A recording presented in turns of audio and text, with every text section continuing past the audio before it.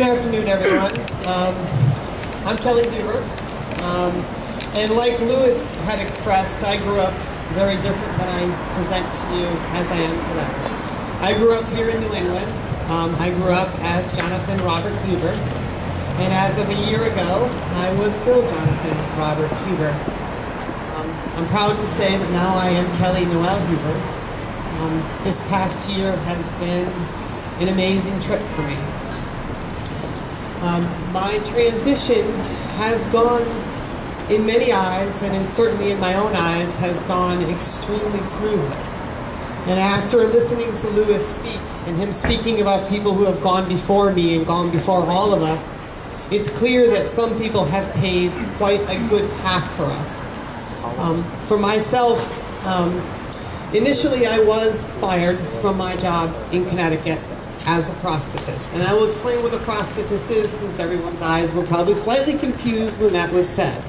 Um, I am a person who makes artificial limbs. I make artificial limbs for amputees who have lost their legs, lost their arms, um, whether it's from war, whether it's from diabetes, whether it's from sickness. That's my job. Having that viewpoint and understanding what the rehab process is about is something that was very dear to me when I was about to tackle my own inner concerns. And that was that I, my body, as people would say, didn't necessarily match my mind. When I was going about moving forward to become myself, I realized seeing a lot of my patients go through the process of losing their limb and coming to terms with losing their limb there's a change that happens in the person when they recognize they're different or things aren't going to be the same. They, they lose something that's special in them.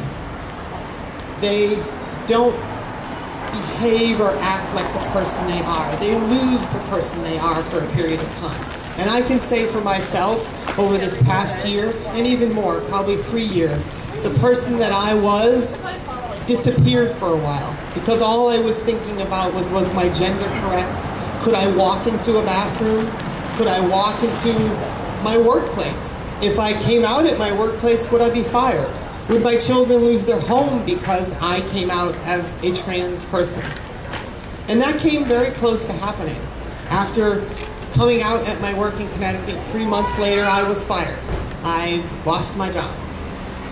I was put into a position of having to find another job. Luckily, I had found a place that I had worked at for seven years prior to that, and I was immediately accepted and was able to come back. And when I returned, it wasn't long after that, and that, that job is here in Massachusetts. I work at Braintree Rehab Hospital in Braintree, Massachusetts. And when I came out there, the law here in, in the state of Massachusetts had yet to be passed. So when I stepped forward again, the fear of knowing that I could simply be fired once again was very real and very true. Luckily, that process has gone seamless. I am absolutely amazed that I can walk down a hospital full of 300 employees and have yet to have a negative comment brought towards me. I have come out to all my patients. And when I speak about my patients, these are not patients that I see once or twice and then they're gone. These are patients I see for a lifetime. And I have absolutely been accepted. The words I get from people is, are you still going to be here? Are you still going to do what you do? Are you still going to be my prosthetist? Are you still going to make a, essentially what they're saying to me is, are you still going to make a difference in my life? And the message that I want to bring to you today is that I know that public accommodations is a huge concern here in the state of Massachusetts. And passing laws about this is extremely important. But as Lewis had said earlier on, it's us as people that make that change happen. And when I approached my transition, I made a vow to myself. I said, every single person in my life, whether it's the patients I see, whether it's my parents, whether it's my children, whether it's my ex-wife, whoever it was, I was going to sit down with each and every one of them and explain to me them the sincerity of who I am. And the sincerity of who I am not just as a woman, but as a person, as a caring person who makes a difference in this world. And I think that what each of us should be doing is that.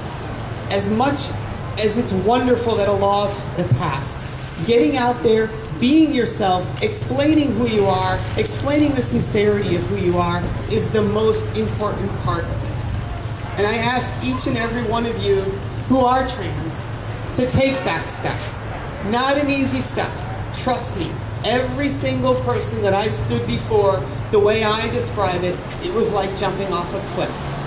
When you jump off a cliff into a deep pool of water, you don't know if you're coming up when you reach that water.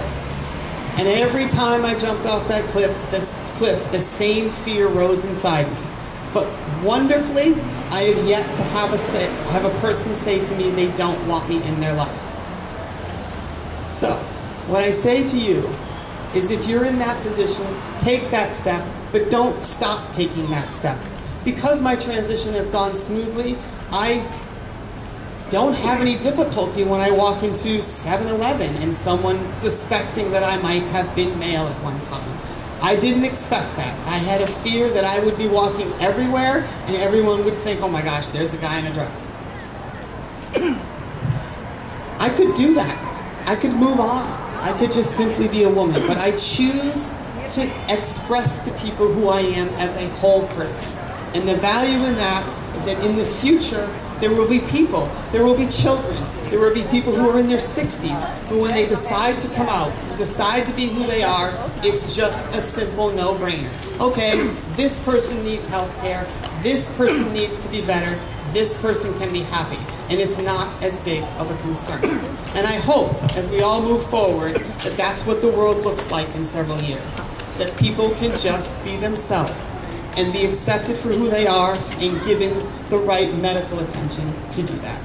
And I want to thank you all for coming out today. And thank you so much. Um, this is, I know it's a small crowd, and normally I speak, speak to one person at a time. Um, and paradoxically, Tristan had said to me as we walked this, or started to come to this, that um, I had said to him, the way I like to do things is one person at a time. So it's quite strange that I'm standing up here in front of a group of people and expressing to more than one person at a time. But I want to thank you all for listening to me. Have a wonderful day. Thank you.